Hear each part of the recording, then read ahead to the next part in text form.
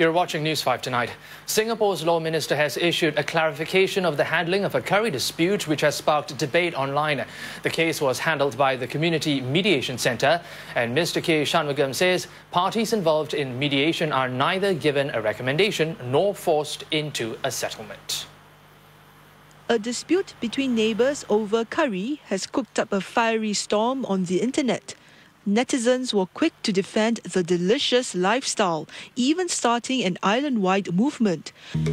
Today I'm gonna feast on this curry. And this song has become an anthem for the dispute. The case in question happened some six to seven years ago involving a PRC family who sought mediation because they could not stand the smell of curry coming from the home of their Indian neighbours. According to a media report, the mediator got the Indian family to agree to only cook curry when their Chinese neighbours are not at home.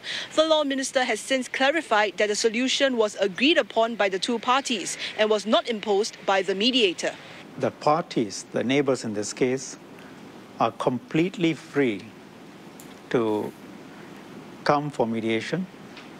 They are not forced to come, nor are they under any sort of compulsion to come. And throughout the process, when the mediation takes place, either party or both can walk off. There was no agreement as such that was signed or settled at the mediation what happened,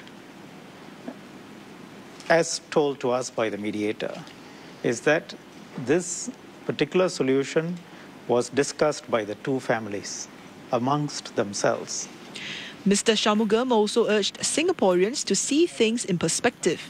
While we must affirm our Singaporean identity and must protect it, and it's good to see so many people coming forward to protect it, at the same time, let's not turn this into a, uh, a xenophobic attack on foreigners in general.